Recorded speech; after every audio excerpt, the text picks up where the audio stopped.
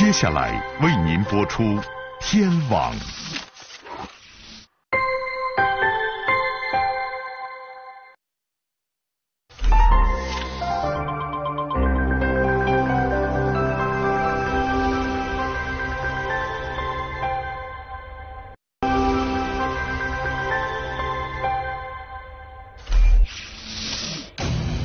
偏僻的山村突发命案，现场勘查，天井里的绳子成为物证。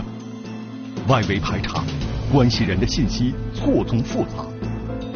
拨云见日，DNA 检测确定侦查方向。循线追踪，犯罪嫌疑人落入法网。绳子上的证据，天网栏目即将播出。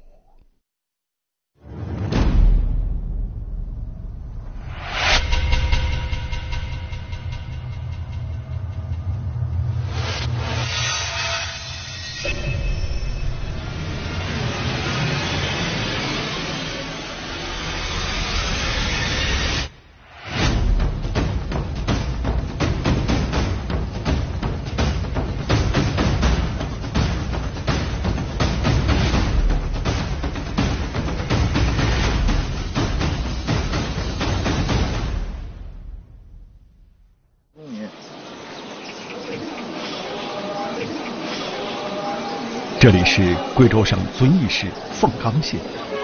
凤冈县位于贵州省东北部，属中亚热带湿润季风气候，冬无严寒，夏无酷暑，平均海拔七百二十米。凤冈县聚居着汉族、土家族、仡佬族、苗族等民族，世代传承的生活习惯，使居住在大山里的人们性格耿直，民风淳朴。二零一四年十二月七日，一起命案的发生打破了山区里的宁静。十二月七日这天，遵义市凤冈县某村村民叶某，因为已经两天没有看到住在自家隔壁的弟弟和弟媳，满怀疑虑的前往弟弟家查看情况。如果是往常，弟弟和弟媳听到叶某的喊叫声，早就有了回应。看人家结婚没有？我吃过饭了，上坡去干活。我二叔就问我：“今天看到小李们进出没有？”我说我没看到。我就问他：“我说你们今天看到没有？”他说他们也没看。那个他就打他电话噻，看打通嘛。我打我兄弟电话，打的是关机状态。他人家结婚没有？此时，虽然叶某大声呼喊很多遍，然而屋内却依然没有动静。随即。大哥叶某试着推开房门，令他没有想到的是，弟弟家的房门居然没有上锁。那我怎么跑进他屋头去看，我就跑进他屋头来，就喊喊了，我说他二娘在屋里没有？他二娘在屋里没有？那我看那个门是虚开的哈，没有条缝。叶某从虚掩的厨房门进入到弟弟的屋内。径直来到卧室门前，发现卧室的门也是虚的。我就推给他卧室门呢，推不动，推不动呢，啊，卧室门也是个有条缝。叶某试着从门缝中向卧室探望，而眼前的一幕令他胆战心惊。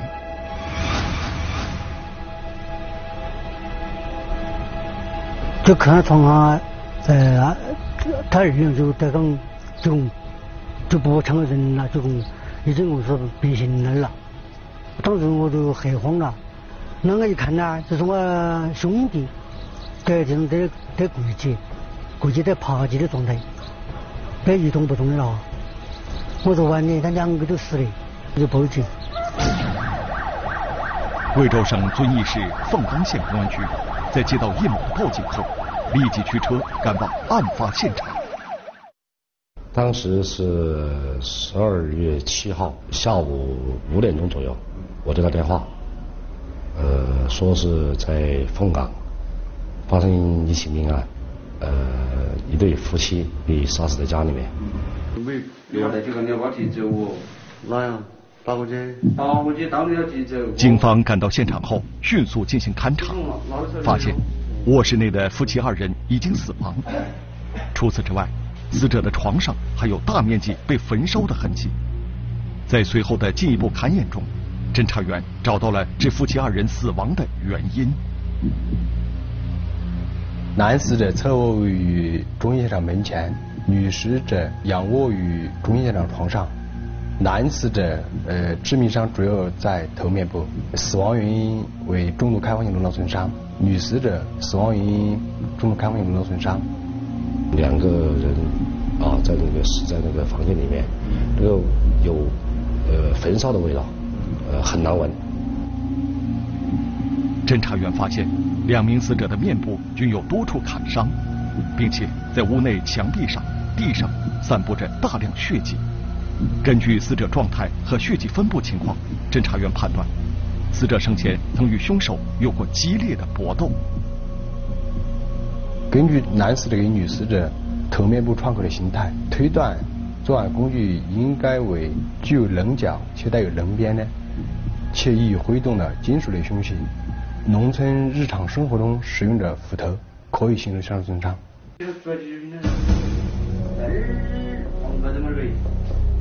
案发现场让所有侦查员感到，犯罪嫌疑人心狠手辣。凶手因为什么会杀害这对中年夫妻呢？侦查员一边对现场进行勘查，一边对遇害夫妻的社会关系进行调查。原来，死者夫妇丈夫姓叶，妻子姓杨，年龄四十岁，育有一双儿女，两个已经长大成人的孩子均离开偏僻的山区。到遵义市内打工。据调查，丈夫叶某常年在外做贩牛生意，妻子杨某在家务农。我们当地说做牛生意，就是把这个零星的牛买到家中来，然后成批的卖出去，中中间赚这个差价。死者叶某常年游走于遵义市凤冈县的大山深处，挨家挨户做贩牛的生意。山区的人们进行的都是现金交易，所以死者叶某身上常年装有大量现金，少则一两万，多则三四万。然而，在案发现场，侦查员却没有找到任何现金。根据这个分析哈，这个死者平时都是做那个牛生意的，身上平时都有钱。勘查发现，死者身上也没有钱，被焚烧的这个床。有没有发现那个钱的这个痕迹？紧接着，侦查员在勘察其他房间时，又有了进一步的发现。我们当时对这个周边的现场也进行了呃初步的勘查，发现这个在死者家楼上有一个通风口，就是二楼那个厨房上面有一条。尼龙绳从那个地方掉下来，绳子垂下的地方是当地村民在厨房上方建造的天井，起到生火做饭排烟的作用。但是，这条绳子为什么会从天井垂下来呢？当初我们就判断啊，通过这根绳子，因为那个绳子距地高，我们通过测量是距地有两米两米多高。而且绳子断头断处有那个灼烧的痕迹。侦查员根据绳子的形状判断，绳子很像是被人为截断的。很快，现场勘查人员就验证了自己的判断。然后在厨房那个灶台灶灶台里面那个效果那个烧火的那个地方，发现一根白色的绳子。经过比对，现场勘查人员认定。天井里悬挂的绳子和灶台内的绳子是同一根，可根据当地的习惯，天井里是不会悬挂绳子的。那么，这根绳子是否与这起命案有关？侦查员又将在现场有什么新的发现呢？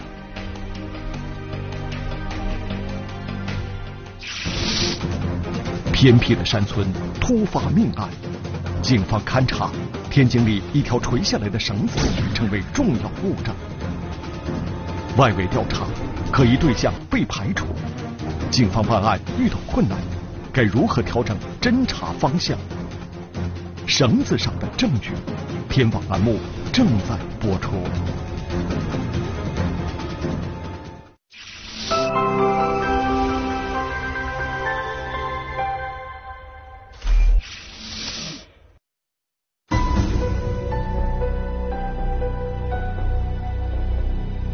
二零一四年十二月七日，贵州省遵义市凤冈县某村的村民叶某报案称，自己的弟弟和弟媳被人谋害在家中。接到报案后，警方立即赶赴案发现场，展开缜密勘查。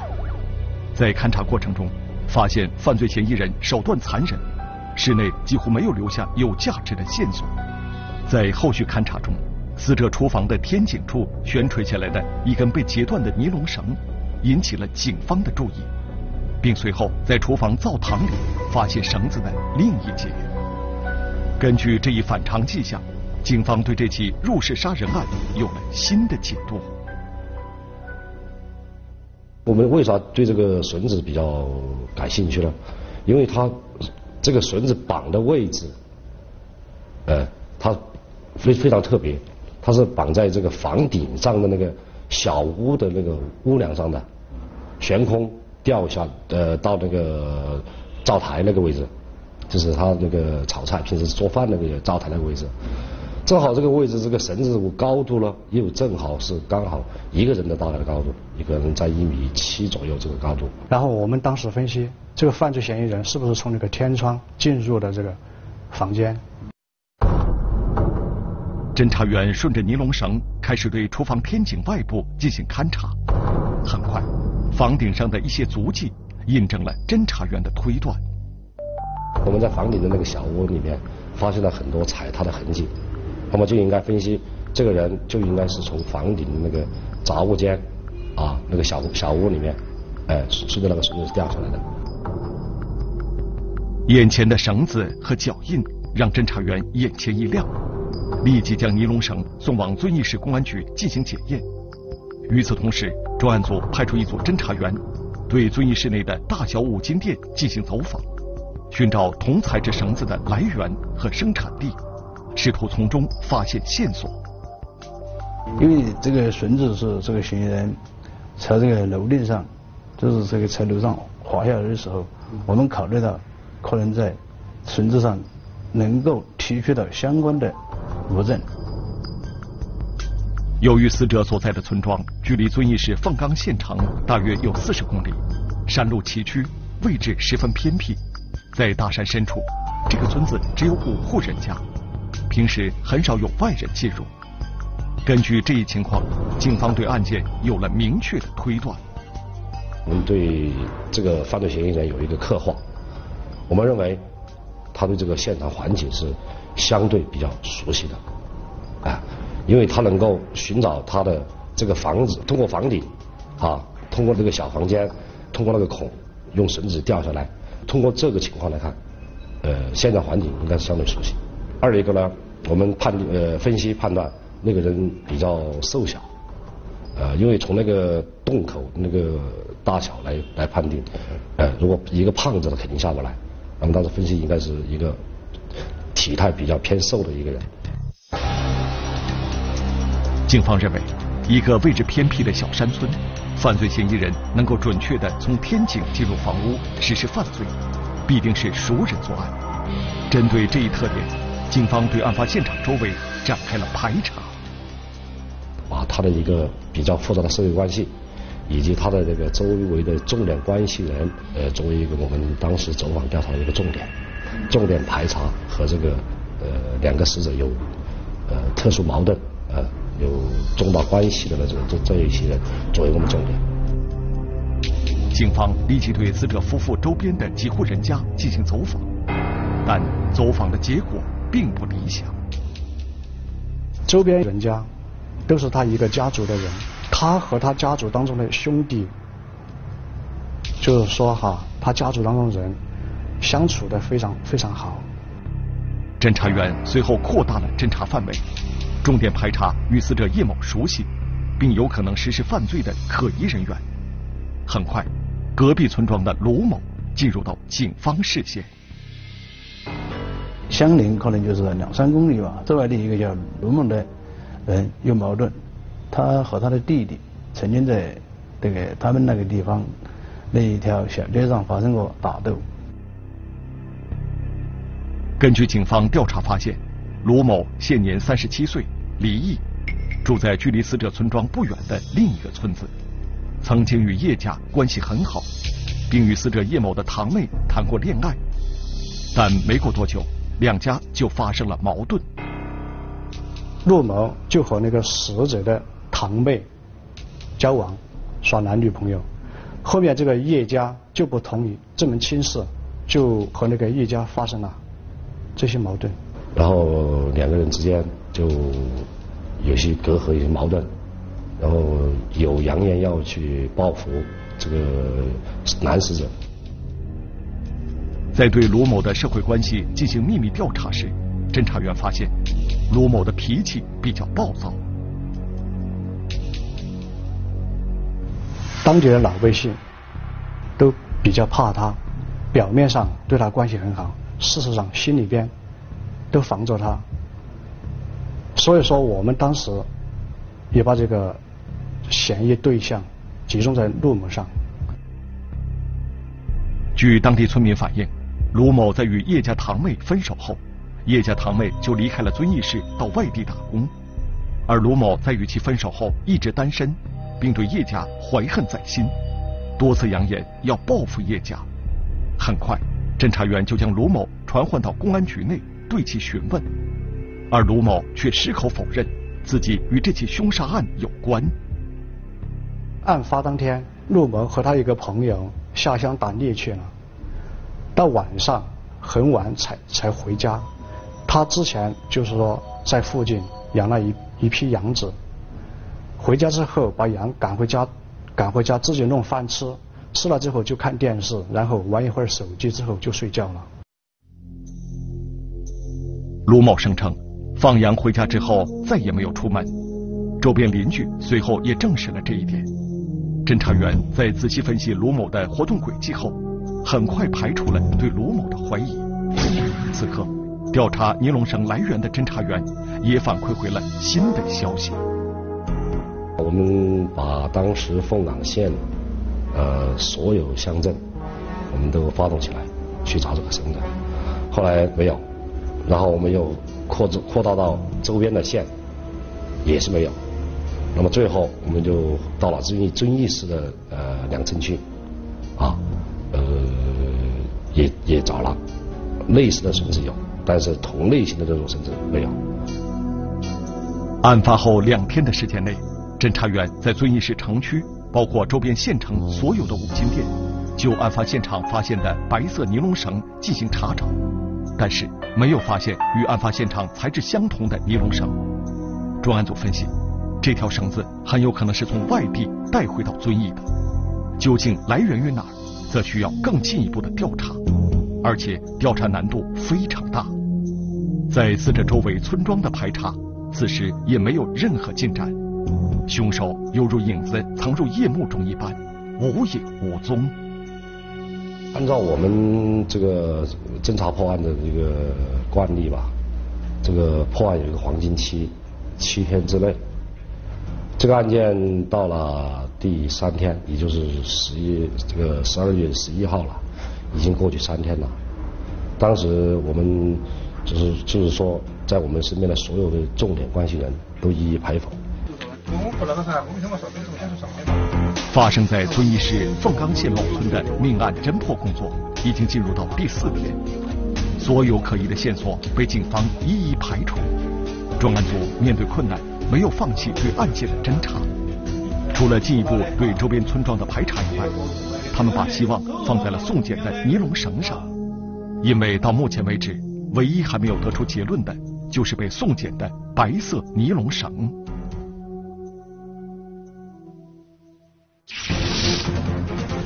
偏僻的山村突发命案，警方勘查，天井里一条垂下来的绳子成为重要物证。DNA 检测，锁定侦查方向，专案组迅速追踪，犯罪嫌疑人能否落入法网？绳子上的证据，天网栏目正在播出。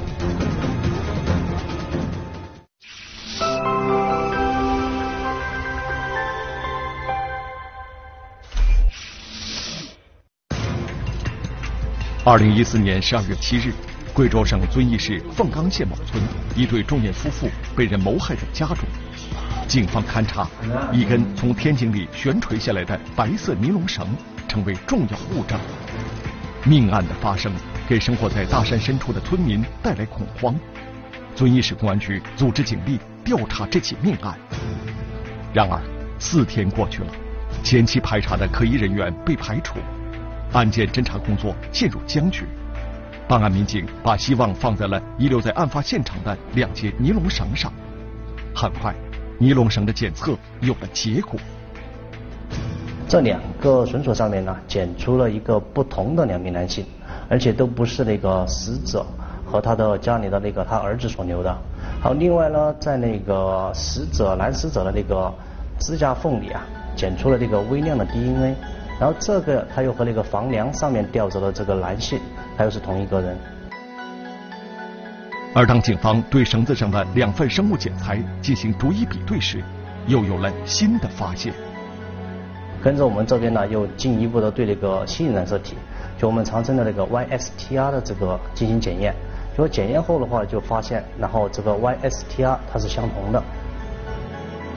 染色体是人体细胞核中载有遗传信息的物质，主要由 DNA 和蛋白质组成。正常人有二十三对染色体，其中二十二对染色体被称为常染色体，而第二十三对染色体被称为性染色体，则决定着人的性别。贵州遵义警方检测出的 YST2 性染色体相同，也就说明两份生物检材来源于同一父亲。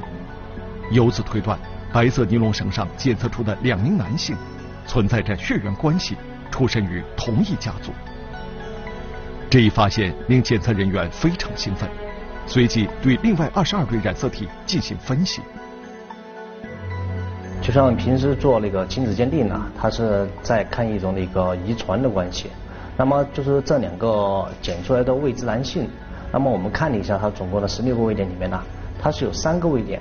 它是不具备遗传关系的，也就是说，平时我们所说的一个标准达到两个以上，那么我们就可以把这个它的父子关系给它排除掉。在排除这两名男性的父子关系之后，面对绳子的 DNA 生物检材，就有了唯一的结论。那么就可以说他们是亲兄弟的可能性，那就相当大了。DNA 检测报告显示，发生在遵义市凤冈县某村的命案。其进入到中心现场的犯罪嫌疑人是一名男性，而且这名男性还有一个亲兄弟。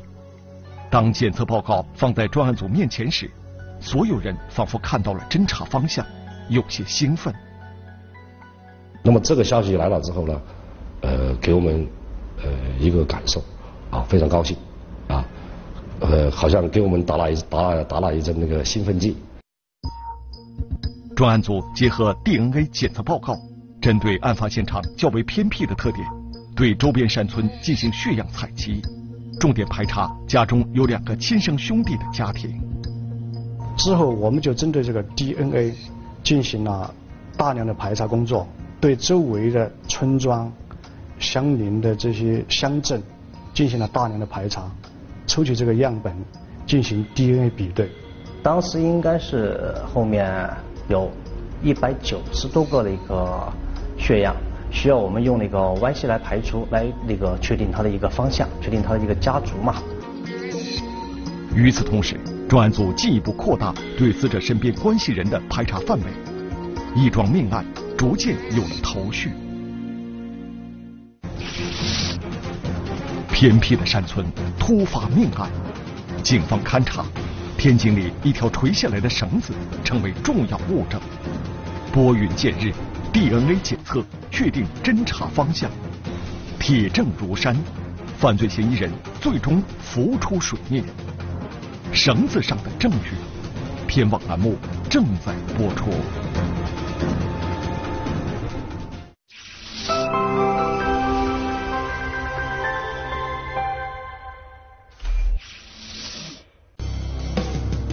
二零一四年十二月七日，贵州省遵义市凤冈县某村一对中年夫妻被人谋害在家中。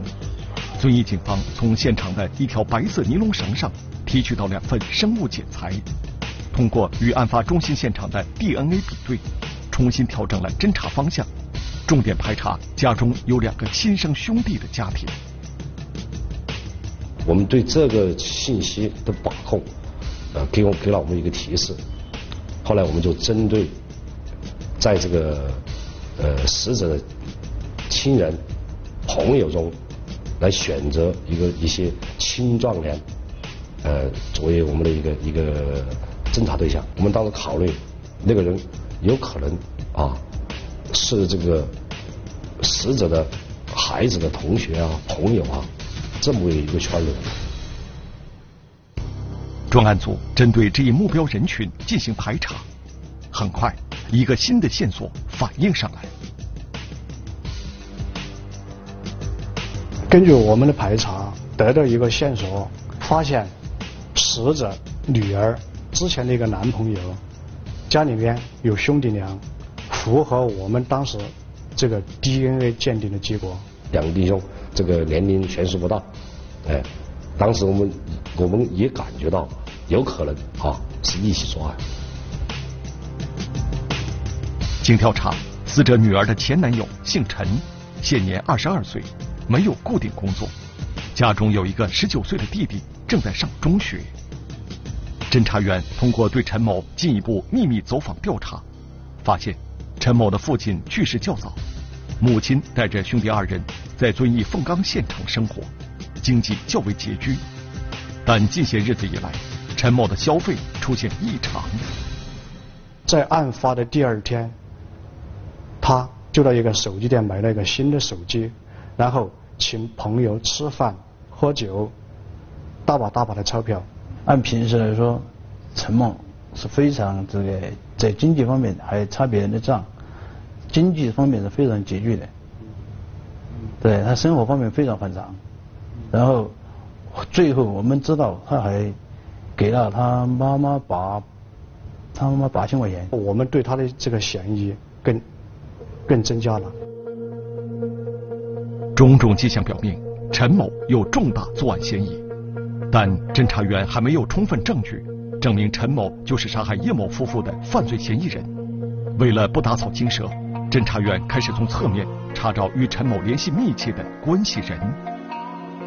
我们当时考虑有没有。第二个人在现场有没有？是不是他的兄弟，或者是他的朋友？那么后来我们通过一些秘密手段，当时就发现和他玩的比较好的一个人啊，在案前、案发之前和案发之后通话比较频繁的这这么一个人。经过核查，侦查员发现，在案发前后的两天时间里，陈某与一个吴姓男子联系频繁。专案组判断，吴某作为陈某的朋友，很可能对案件知情。我们了解这个人是在当地的一个洗澡城当服务员，那么当时我就带了两两名侦查员，就赶到了这个呃洗澡城去。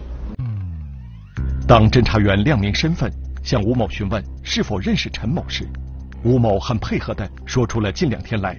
陈某请他和女友在外消费的情况，他就是给我们说，当时当天就是呃陈某请他吃饭，这个还买了一台新手机，呃身上还有伤，好像是胸部有伤，抓伤的痕，抓伤的痕迹。他问他怎么怎么受伤的，陈某给吴某说是骑车骑摩托车，呃。掉进这个路边的那个那个荆棘里边去了，摔伤了。吴某反映的情况与警方的调查没有太大出入，然而敏锐的侦查员觉察到吴某似乎隐瞒了什么。几番询问之后，吴某的身体开始颤抖，全身在发抖。当时，哎我心里想，哎，好了，可能有有有有情况。经过对他细心的工作，对他进行开导。最后，他给我们讲了真话。他就说，在案发之前，这个陈某曾经约过他，要他和他一起去盗取现金，最后这个他这个朋友没有答应他这事情，然后陈某自己一个人去了。案发后，吴某发现陈某胸前多了一些伤痕，但陈某只说与被害人发生撕扯，并没有道出杀害易某夫妇的实情。随后，侦查员秘密查取了陈某的生物检材，经 DNA 比对，确认与案发现场白色尼龙绳以及死者身上提取到的犯罪嫌疑人的生物检材相吻合。至此，警方确定，至少陈某是杀害叶某夫妇的凶手。那么，陈某的兄弟是否也参与到这起凶案中呢？警方一时还无法完全排除。事不宜迟，二零一四年十二月十一日，警方秘密潜伏在陈某住处，准备深夜实施抓捕。好，好，谁道歉？谁道歉？谁道歉？谁道歉？啊，啊，如果你好好配合，那么你你会啊啊，晓得，你是个我晓得为了呀，啊，晓得为了呀，为哪样啊？嗯，为哪个？我晓得为。抓的时候，两兄弟还抱着抱着睡着，睡着了，然后把人我掀开我一看，啊，是他这个是陈某本人，然后在他的衣服兜里面，还把他兄弟的身这个身份证。他本人的身份证一起找一起找到了，所以当时我们还感觉到这个这个陈某已经准备有想利用他兄弟的身份信息准备外逃。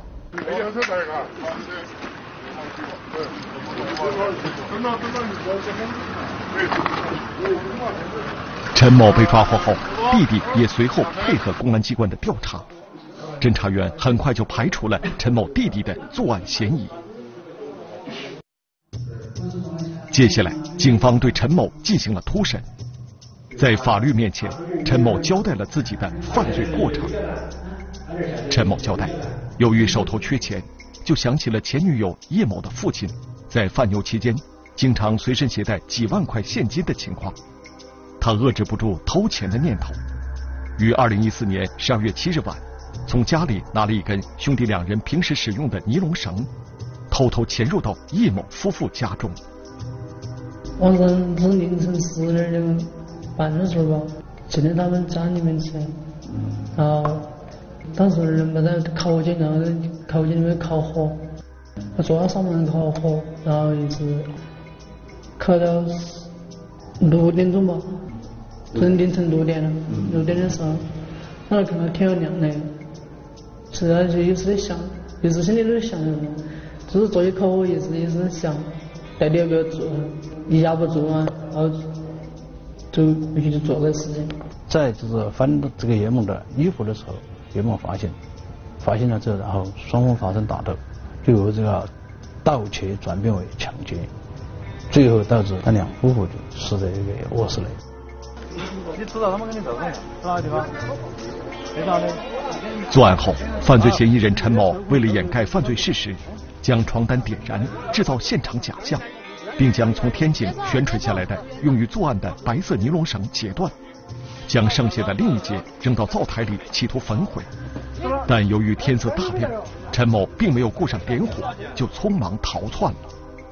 回到放钢现场后，陈某经过一番异常的消费，正准备外出潜逃。